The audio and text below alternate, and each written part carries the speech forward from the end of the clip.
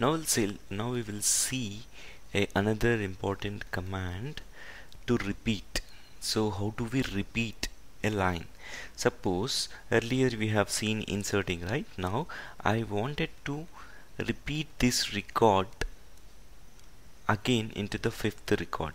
So I can type it as R and enter so that it inserts a new record with the same record whatever that is existing. Again if I type R you can see it has been placed here. So now I can simply make 5 and 6 right? So for example you wanted to uh, repeat this line 10 times. Then how do you write? R 10 then in this way you can repeat this line. So this is how a repeat line will work